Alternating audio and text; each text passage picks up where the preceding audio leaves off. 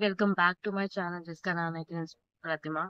सो अभी मैं पहुँची नहीं हूँ और रात को बैठी थी, अभी नेक्स्ट डे है। तो अभी कल पहुंचूँगी अर्ली मॉर्निंग तो अभी बस पापा को छोड़ के अपनी उसके पास जा ऐसे मतलब कितना भी वो कर लो, हँसी मज़ाक कर लो, कुछ भी कर लो स्ट्रॉन्ग कर लो अपने मन को, लेकिन जब पापा चले जाते उसके बाद मुझे बहुत रोना आता है।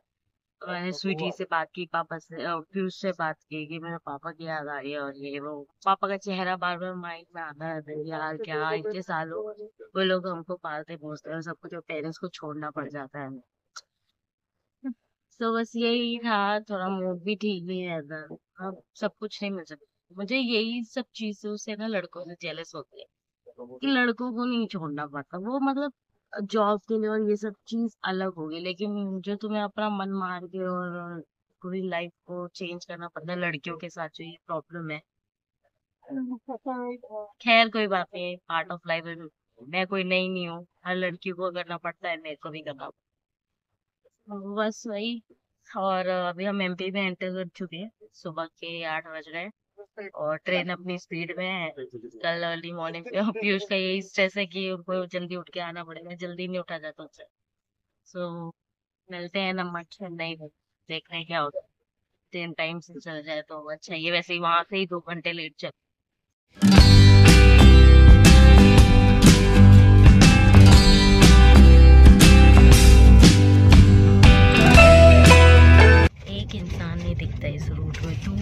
तक मतलब पहाड़ ही पहाड़ है और इंसान का तो कोई नामो निशान नहीं है वही देख रही थी मैं विंडो से बोर हो रही थी तो मैं देख रही थी। मतलब दूर दूर तक एक इंसान नहीं और पहाड़ ही पहाड़ और केव में से निकल रहे हैं ट्रैक्स इधर उधर। मतलब मेरे को तो यहाँ लगता है यहाँ पे किसी इंसान को कुछ ज़रूरत होगी तो पता नहीं कहाँ कितनी दूर से हेल्प मांगना पड़ेगा। तो देख सकते हो आप। धूप की वजह से दिख नहीं रहा। अभी ट्रैक के एकदम बगल में पहाड़ है और उसमें से हम निकल रहे हैं। फिर केव भी आता है, उसके अंदर से निकलते हैं। पूरा अंधेरा अंधेरा हो जाता है।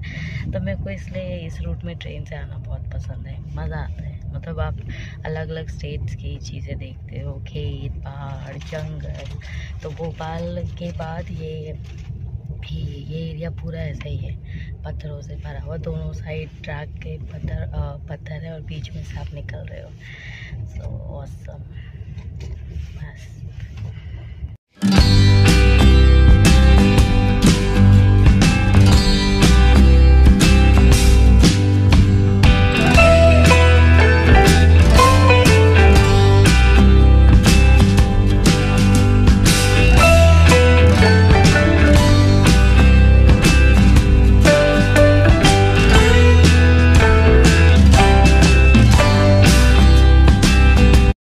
गुड मॉर्निंग गाइस और आज है ट्रैवल का तीसरा दिन और अभी चेन्नई पहुँचना था तो अभी विजयवाड़ा भी नहीं पहुँची है तो इट मीन्स और अभी ट्रेन तो पहले ही दिल्ली से ही लेट चली थी तो और लेट पे लेट लेट पे लेट लेट पे लेट हालाँकि ये पीयूष के लिए काफ़ी अच्छा है क्योंकि नहीं तो उन्हें पाँच बजे ही उठना पड़ता अगर टाइम पे चल रही होती तो। तो अभी तो ये दोपहर के एक बजे पहुँचाएगा हमें तो सफ़र अभी आधा अधूरा है। तो अभी तो काफ़ी सफ़र बचा हुआ है और मेरी नींद तो खुल गई है। कब का ही सुबह चार बजे से बैठी हुई हूँ। नज़ारे देख रही हूँ, पहाड़ देख रही हूँ। अभी स्टेशन आने वाला है विजयवाड़ा, उसके बाद वहाँ से पाँच छः घंटे और दोपहर में पहुँचेंगे हम। पीयूष आराम से अपना लंच वंच करके आएँगे, फिर तो मुझे लेने ऐसे ही लग रहे हैं और डिले ही करता जाएगा। लेट्स सी कब पहुँचते हैं।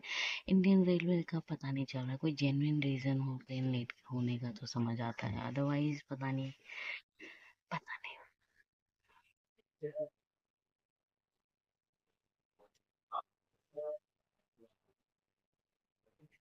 गाइस तो अभी विजयवाड़ा हम लोग पहुँचे हैं।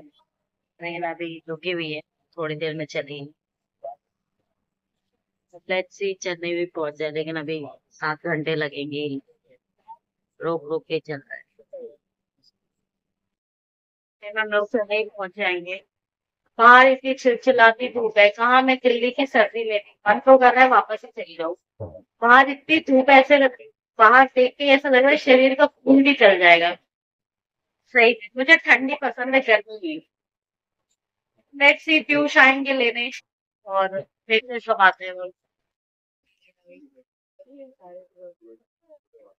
Six hours later.